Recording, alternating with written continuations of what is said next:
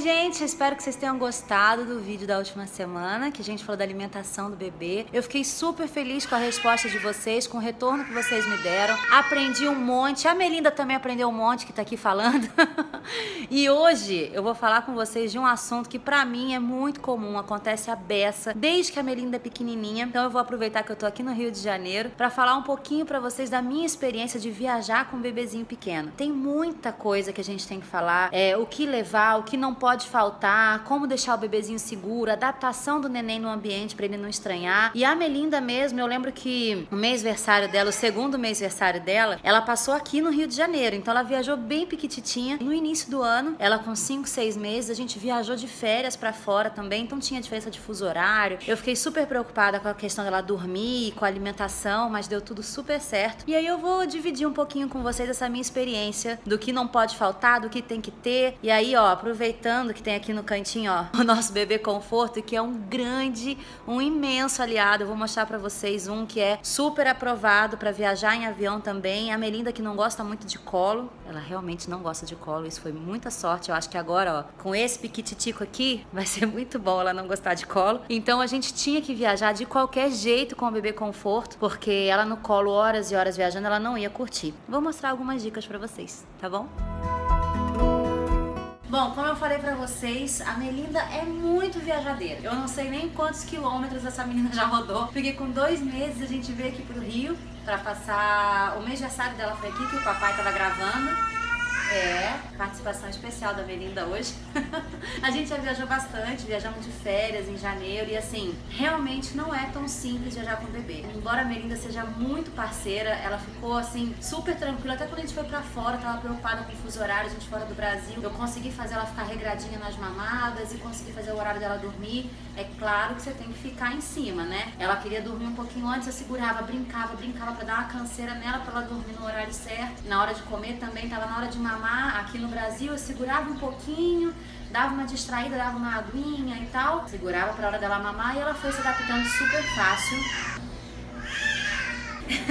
ela foi se adaptando super fácil. Eu acho que depende muito de, de cada neném, na verdade, né? Eu acho que você tem que sentir como que o seu bebê vai reagir a essas mudanças. Tá fora da casa dele, tá fora do ambiente dele, tá fora do bercinho dele. Também vou mostrar pra vocês o berço portátil, várias coisas que eu acho que são legais de se levar pra ambientar o neném, pra ele não estranhar tanto, né? Então, assim, aqui eu acho que talvez eu seja uma mamãe exagerada ou prevenida, porque nunca me faltou nada, nunca passei perrengue. E eu gosto de levar as coisas dela. Claro que tem lugares que você pode falar assim, ah, eu compro lá, né? Assim, não é um problemão se esquecer. Mas eu acho importante já ter as coisinhas dela. Então, assim, quando é uma viagem muito longa de avião ou quando é uma viagem de carro, essa daqui é a bolsa da Melinda. Na verdade, até a bolsa de passeio também, sabe?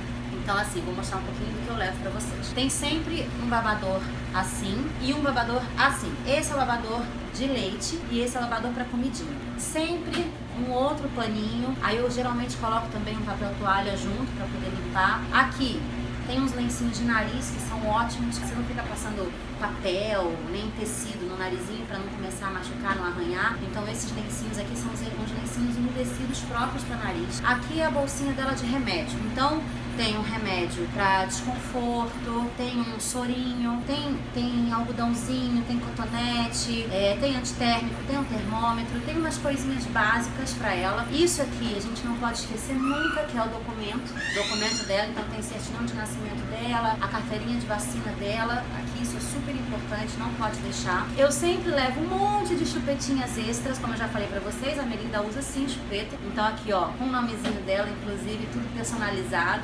Esse aqui, ó, os prendedores, que eu acho que são fundamentais pra gente enlouquecer com a chupeta caindo no chão. Então esse aqui ela ama, que é de brilhinho.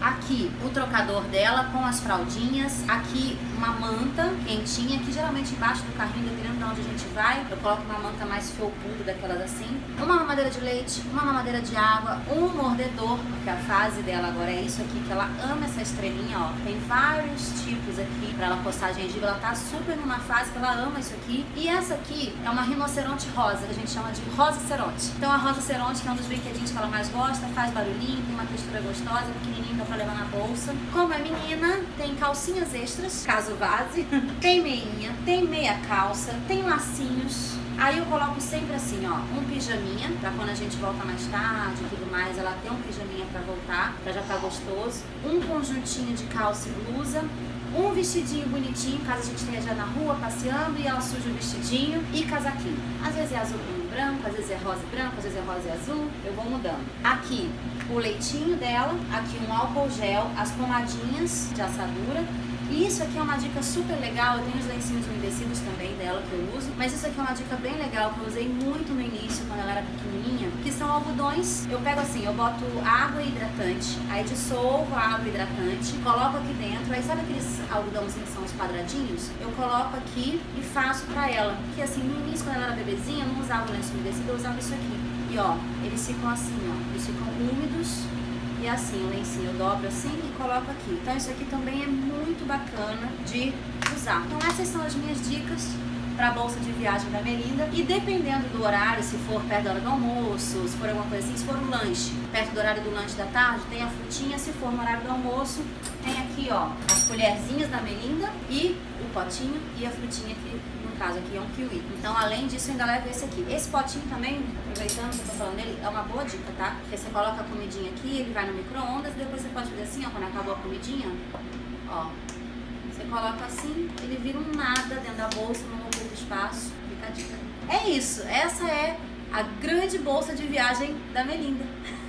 Bom, Agora que eu já mostrei para vocês tudo que eu coloco na bolsa de viagem da Melinda, na bolsa de mão dela, que eu acho que assim é fundamental você não esquecer nada. Tem que estar tá tudo direitinho. Eu falo, para mim eu posso esquecer qualquer coisa, para ela eu não quero esquecer nada de jeito nenhum. Mostrei para vocês tudo que eu carrego, até para um passeio no dia a dia. E antes que vocês falem, gente, é impossível levar isso tudo, é muita coisa. Eu vou levar onde? Aqui, ó.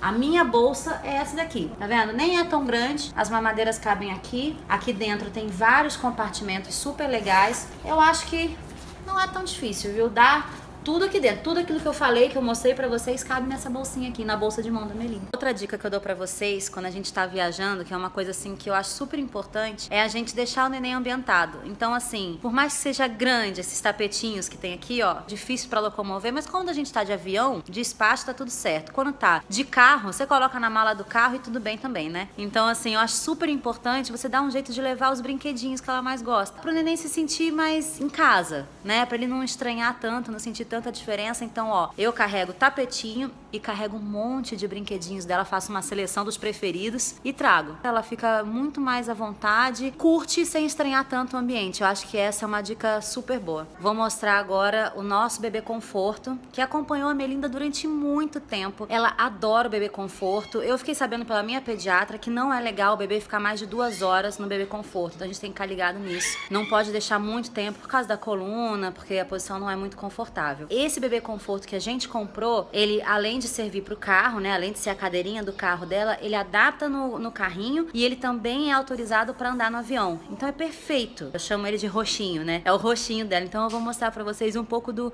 o roxinho da Melinda. Agora ela já tá um pouco grande para ele, já não tá funcionando tanto, é só mais pro avião mesmo. E agora ele vai ficar pro Teodoro. vai ficar pro maninho. O roxinho da Melinda, a gente coloca no carro, no avião, no carrinho. Ele tem esse adaptador aqui, ó, que vai no carrinho e não atrapalha na hora de colocar ele dentro do carro no compartimento que tem e também pro avião. Muita gente me perguntava como que eu faço para viajar com a Melinda de avião, muita gente vê, né? Ela no avião, então tá aí, ó. É com esse roxinho aqui maravilhoso. Agora eu vou mostrar para vocês um pouquinho da mala da Melinda. Normalmente quando a gente viaja assim pro Rio de Janeiro, por exemplo, a gente tem casa no Rio, então tem algumas coisas que já tem no apartamento, né? Na verdade, assim, dessa vez que a gente veio aqui pro Rio, a gente já tava com a banheira dela, aquele banheirão grande de pé, né? Só que quando a gente viaja para algum lugar que não é aqui no Rio de Janeiro, que a gente vai ficar em hotel, a gente leva uma banheira inflável que é maravilhosa. Quando eu comprei a banheira, eu comprei uma outra que era dobrável. E depois é que eu conheci essa inflável e apaixonei, não troco mais jeito nenhum. Aqui também no Rio, aqui atrás, ó, como vocês podem ver, que o trocador da Melinda, quando não tem trocador, quando a gente vai para um hotel, que não dá para ficar levando trocador, que é um negócio grande, aí eu coloco ou um travesseiro, ou eu dobro vários cobertores e coloco só o forrinho por cima, que fica bem mais prático, né? Então, vou mostrar para vocês um pouco da mala da Melinda como se fosse assim uma viagem de quinta a segunda, uma viagem de sexta a segunda, no final de semana. Então aqui, ó, tem algumas coisinhas que não estão aqui porque estão em uso. A gente coloca assim, ó, dois lençóizinhos do bercinho portátil, duas mantas, dois coeiros, aí dois jogos de toalha, que é a toalha fralda e a toalhinha dela mesmo, tá vendo? Colocamos dois sapatinhos, um de cada cor.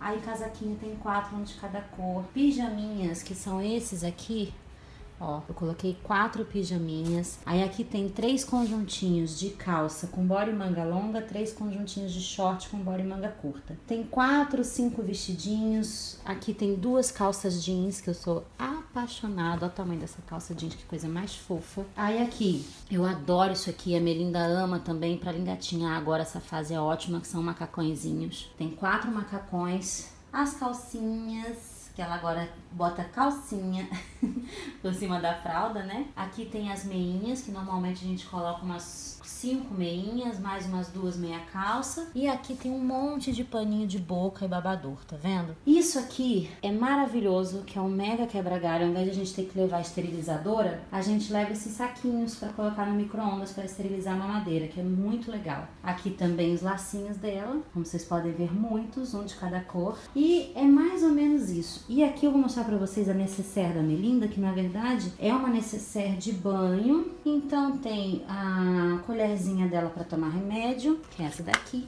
Aí tem pro dentinho, tem a vitamina, tem esse aqui que é a escovinha de dente dela, pasta de dente, o shampoo, o sabonete, enfim. Uma seringa extra para tomar remédio se precisar, a gente espera que nunca precise, né? Aqui tem um negócio maravilhoso que é para limpar o nariz, tá vendo? Aquele que a gente suga. Isso é muito bacana, muito. Quando fica gripado, assim, é maravilhoso. Quebra um galho danado. Você bota um sorinho, depois puxa com esse aparelhinho. Basicamente é isso. A Melinda também, assim, a gente faz uma conta de cinco fraldas por dia. Então você vê os dias vai ficar fora e no caso dela são cinco fraldas por dia que a gente faz a conta. E fralda também é uma coisa mais fácil de achar, né? Então se esqueceu, dá para comprar em qualquer lugar tranquilamente. Uma outra coisa também que eu nunca deixo de levar é a babá eletrônica. É pequenininha, você bota da mala, tranquilo, é mais um volume, é mais uma coisa, mas não tem jeito, porque às vezes você tá num cômodo, a neném tá no outro cômodo, tá dormindo, tirando um cochilo, você quer ficar de olho nela, então é super importante. A minha, inclusive, tem um aplicativo no celular que é maravilhoso, que mesmo quando você tá fora de casa, tá trabalhando, você consegue ver. Então, assim, tá aí mais uma coisa que é super importante levar, é a babá eletrônica, que não dá pra você deixar a neném lá e, ah, vou ouvir. Às vezes você não ouve, às vezes o lugar é grande, às vezes tem uma área externa, vale super a pena levar babá eletrônica também. Eu tô para falar sobre isso aqui com vocês um tempão para mostrar, bem dica de mamãe mesmo, ó. Esse pessoal aqui, ó, Baby Kinha, isso aqui é maravilhoso. A Melinda usou desde que nasceu. Ela usava um pequenininho, agora a gente mudou para esse maior. Ele é um colchãozinho. Várias vezes eu colocava ele dentro do berço, dentro do berço portátil. Aí eu levo sempre que eu viajo, eu levo ele comigo. Ele, na verdade, ele vem com um travesseirinho aqui e ainda vem com uma rede de mosquito. Então, assim, um mosquiteiro é maravilhoso. Então você pode colocar em qualquer lugar. Você tá viajando, você coloca na área externa. Você tá em casa, você pode colocar assim no sofá e ainda protege dos mosquitos. Esse, o vermelhinho dela, não pode faltar de jeito nenhum. Uma coisa que sempre me perguntam muito é sobre o avião. Como que eu faço para Melinda ficar quietinha e tal. Tem gente que dá remédio, eu acho que é super importante você consultar o seu médico, o seu pediatra, para ver o que, que ele indica para você. No caso da Melinda, ela chupa chupeta,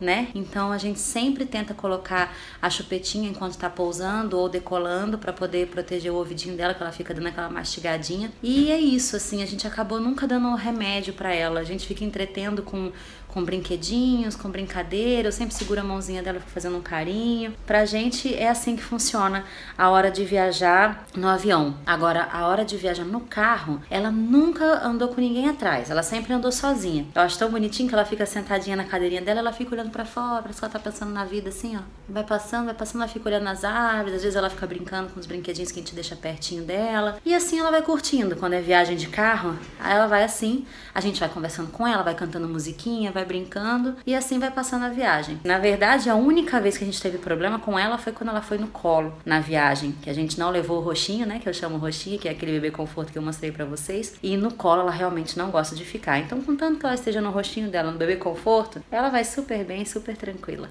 Uma outra coisa também que não pode faltar de jeito nenhum é o berço portátil. Que lá em São Paulo, quando a gente está em casa, ele funciona como o chiqueirinho dela, né? Então a gente deixa assim na sala, na cozinha, vai levando o chiqueirinho e ela vai brincando ali, que depois ele vira um berço portátil para viagem. É maravilhoso, super funciona, resolve muito. Agora, se você vai para um hotel, nem sempre você precisa levar um berço portátil. Você pode ligar no hotel e reservar um bercinho, que a maioria dos hotéis tem isso. A gente já fez bastante isso também. Então o berço portátil depende muito muito de onde você vai. Aqui no Rio a gente não tem berço, não tá em hotel, a gente traz o berço portátil. Uma coisa importante de falar é o tamanho da mala, né? Olha, mudou bem, viu?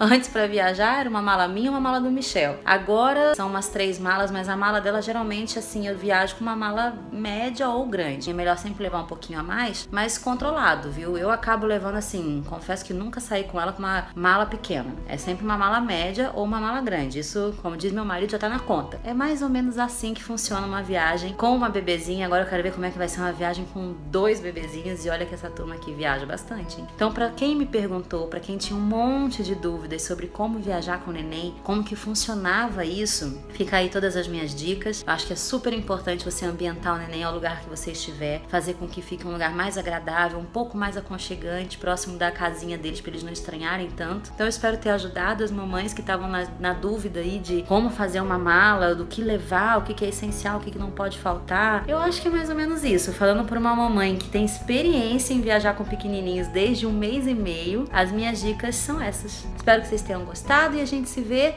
semana que vem com mais episódio inédito aqui no nosso canal, tá bom? Um beijo e até semana que vem.